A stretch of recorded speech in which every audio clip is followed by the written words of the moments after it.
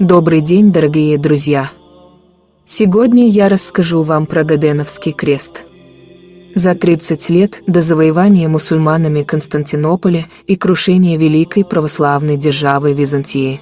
В 1423 году 11 июня в России на ростовской земле внимание пастухов привлек свет, изливающийся с неба на землю. Подойдя к нему, они увидели необыкновенное зрелище. В воздухе стоял крест Господень, а рядом святитель Николай Чудотворец с Евангелием в руках. Как свидетельствует сказание, пастухи от страха подоша аки мертвые на целый час. Когда сила Божия укрепила их, они услышали голос. «Будет на всем месте благодать Божия и дом Божий, аще кто с верою приидет, помолитеся». Будут многое исцеление и чудеса от животворящего креста молитв ради чудотворца Николы. Шедшие проповедите сия всем людям, чтобы на всем месте люди поставили церковь. Но как воздвигнуть церковь на болоте?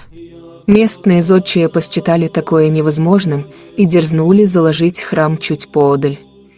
Господь вновь явил чудо. В первую же после начала строительства ночь поставленное основание новой церкви исчезло. Найти пропажу озадаченным строителям помог все тот же неизреченный свет, изливавшийся точно на месте явления креста. Там же в болоте виднелись и бревна постройки.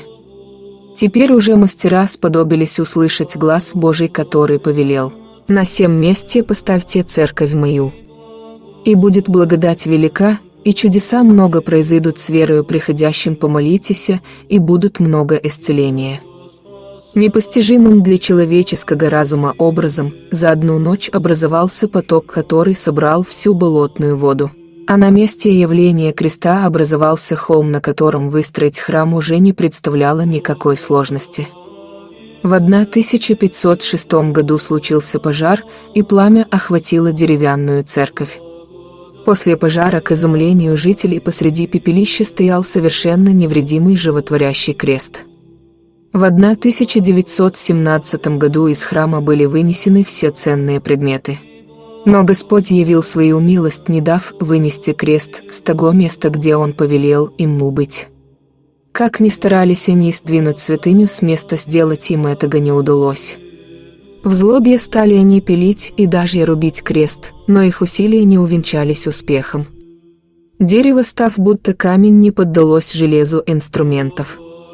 Лишь на руке изображенного на распятии Господа остался неглубокий след от пилы в назидание и в всем сомневающимся в чудесах Божьих. Ничего не добившись атеисты оставили святыню в покое. Однако нашелся еще один богоборец, наблюдавший за происходящим. Возмущенный тем, что двое здоровых мужчин не могут справиться с куском дерева, он схватил топор и в злобе ударил по стопе образа Спасителя. Кусочек мизинца от святыни упал на пол. Богоборец торжествовал. По рассказам односельчан человек, этот прожил нелегкую жизнь и в 70-х годах умер от заражения крови поразивший Гананаге именно тот мизинец, который он отрубил 50 лет назад на образе распятого Христа. Из разоренного храма воздвижения честного и животворящего креста Господня местные жители решили перенести святыню в ближайший подходящий для сохранения креста храм. Таковым оказался храм во имя святителя Иоанна Златоуста в селе Годыново Ярославской области. Крест находится там и поныне. Рядом с храмом во имя святителя Иоанна Златоуста, расположенным в селе Гаденово, постоянно живут инокини. Они каждый день читают перед чудотворным распятием Акафист честному и животворящему кресту Господню. На нерукотворном холме на месте явления животворящего креста Господня. В 1998 году была основана монашеская община – была построена деревянная часовня и отслужен молебен 27 сентября в праздник Крестовоздвижения.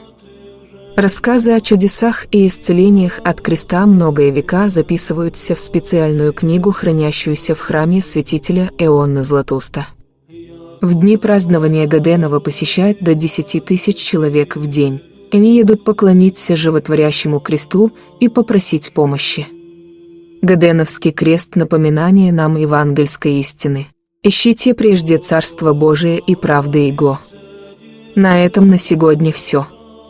В следующий раз я расскажу вам о мироточащем кресте. Оставляйте свои комментарии, что вы думаете об этом чуде. А также присылайте истории явления Бога и Богородицы, о которых вы знаете. Если вам не понравился рассказ или вы не верите в Бога, а думаете, что люди произошли от обезьян, то ставьте дизлайк. А если вы человек верующий и вам понравился рассказ, ставьте лайк и подписывайтесь на канал. Это очень поможет продвижению канала. Верьте в Бога и уповайте на Него, и Бог вас никогда не оставит. Всем пока!